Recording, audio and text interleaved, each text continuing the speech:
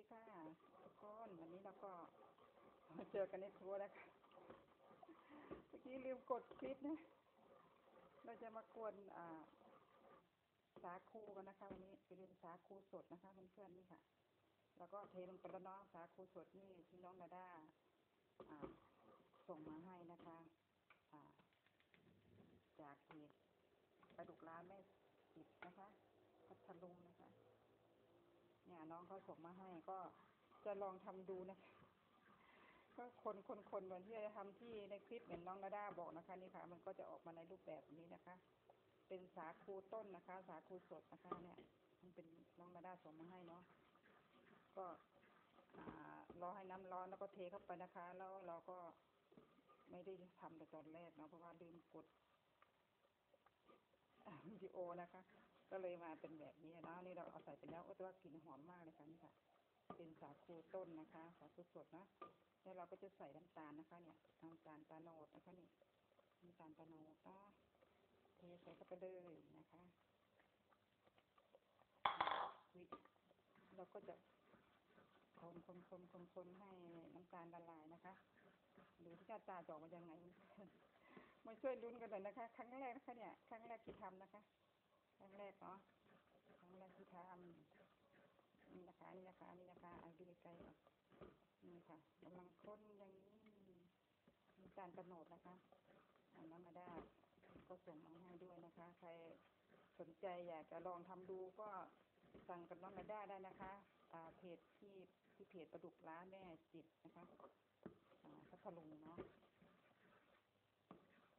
อืมมีน้ำตาลกระลงไปด้วย เอาอันนี้ก็ ใส่แล้วก็จะใส่เผือกเข้าไปนะคะนี่ใส่เผือกเข้าไปเยอะหรือเปล่าไม่รู้โอ้แต่กลิ่นหอมมากเลยค่ะข้นอืมเผือกนะคะเผือกเผือกเอาเผือกไปด้วย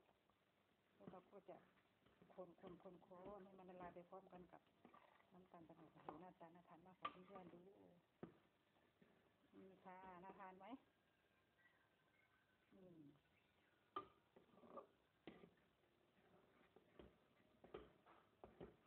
นี่นะคะนี่ หน้าตาน่าทานไหมคะอืมเพื่อนมาทานด้วยกันนะคะ เป็นสาคูสดนะคะ สาคูสดก็เพิ่งเคยทำครั้งแรกนะคะเพื่อนๆหน้าตาก็ออกมาน่าทานมาก หอมมากเลยค่ะน่าจะสุกกันบ้างเนี่ยนี่ค่ะเพื่อนๆเราก็จะอ่าน้ำเอาน้ำกะทิมาใส่เนาะอ่าเดี๋ยวรอชมกันต่อไปนะคะเพื่อนๆว่าหน้าตาจะน่าทานแค่ไหน แรกไม่รู้จะรอดหรือเปล่าร่วงหรือลุ่งก็ไปดูนี่ค่ะเพื่อนมันเป็นคลิปควรอ่าสาคูสดนะคะเพื่อนๆทำให้ดูเนาะก็เพิ่งไปทำครั้งแรกนะคะ อืมค่ะ กลิ่นหอมมากเลยค่ะ คงจะสุกแล้วมั้งเนี่ยนี่ค่ะเพื่อนๆ แล้วน่าทานไหมคะ สาคู กวนสาคูใส่กับเผือกเนาะนี่เผือกนะคะนี่ค่ะเพื่อนดูใกล้ๆเลยน่าทานไหมคะมาทานด้วยกันค่ะน่าจะสุกแล้วเนาะ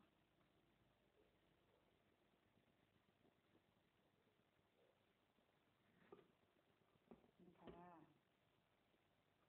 โอ้กลิ่นหอมมากน้ำตาลด้วยน้ำตาลตนด